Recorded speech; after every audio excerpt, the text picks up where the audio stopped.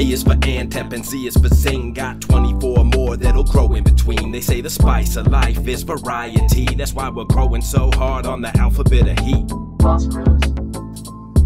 Letter E.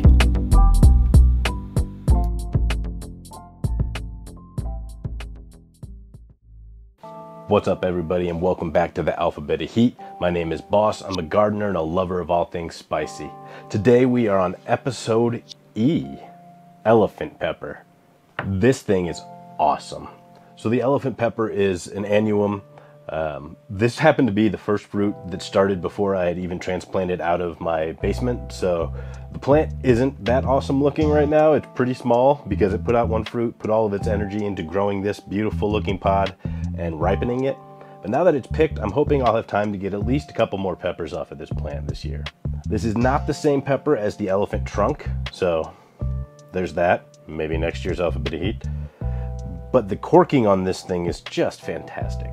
That's part of where it gets its name from, obviously. It looks like an elephant's trunk uh, because of all the corking, but I'm told it's very mild. I've not eaten one of these yet. I'm really excited. This one I picked about three days ago, so it's just starting to soften up a little bit. So it's time to eat it and see how it tastes. But first, let's go take a quick look at that plant. So it already had that fruit on it, like I mentioned, and was looking sad when I went to transplant it. But with this video series, I really needed to make sure I got a harvest from each plant, so I left it. It ripened really fast outside, took a few weeks.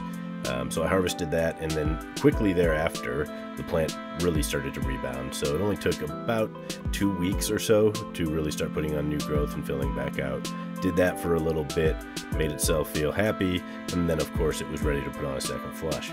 Um, the second round of peppers are looking much gnarlier. They have a lot more corking, cooler shape, um, and now at the end of the season here, it's in the garage to finish up. But you can see this one is just an excellent example, I think. It's very straight. It's about eight inches long. Really nice corking pattern there. Um, I was happy to see this grow. I can't wait for it to ripen.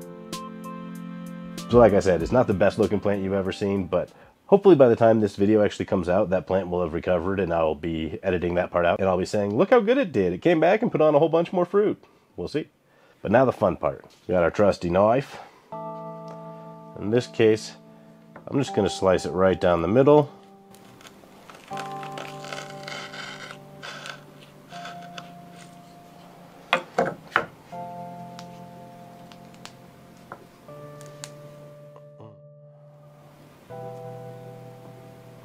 Looks great.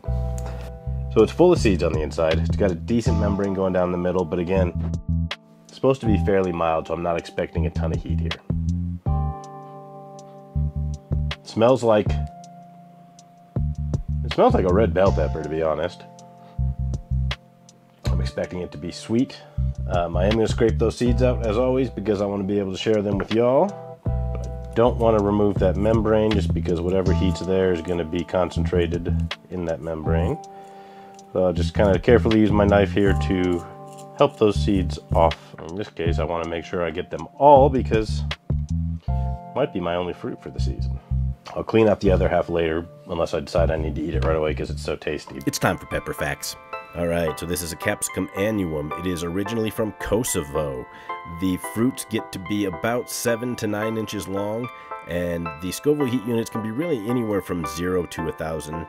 Um, it is not the same thing as the elephant's trunk pepper. That is more of a cayenne variety. This one is something very much different, and I'm hoping it's going to be special. The important part now is how's it taste? What's the texture? What's the heat? It smells real good, so.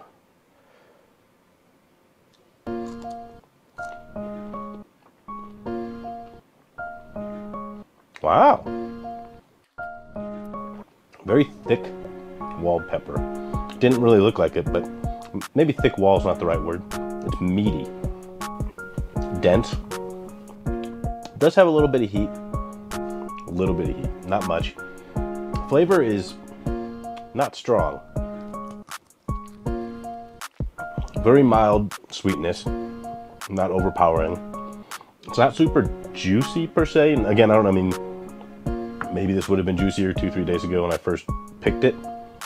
Um, but the density, it's moist, right? But the density of the flesh is what makes it a little bit different experience. It's more like chewing on an apple or a pear, probably more like a pear um, than a traditional pepper.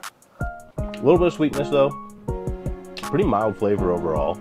Just an incy bit of that kind of grassy annuum flavor that you would expect from like a bell pepper.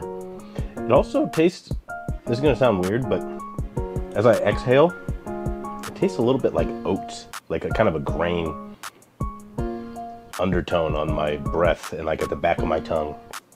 Almost like I just ate a bowl of Cheerios, if that makes sense. Very interesting flavor. I'm not sure what my go-to use for this pepper would be if I had more than just this one right now. I'd be tempted to try and fry it or maybe toss it on the grill or the smoker for a few minutes and see if it doesn't bring out a little bit of a different flavor once you start caramelizing it, but overall, pretty decent. Low heat, just beautiful pepper though, right? Cool texture, it's got a little bit more of a density to it. Like I said, I don't know a better way to explain it than most peppers do. Um, and a pretty unobtrusive flavor. So I don't think anybody would be mad at it, but I doubt anybody's gonna be like, that's the best pepper ever. Because. But that's it for this episode of the Alphabet of Heat. If you enjoy this, make sure that you are subscribed, hit the bell so you won't miss an episode. We're going through all 26 letters of the alphabet from my garden this year, a pepper for each. I will see you next time, and remember, plants help us grow. Peace.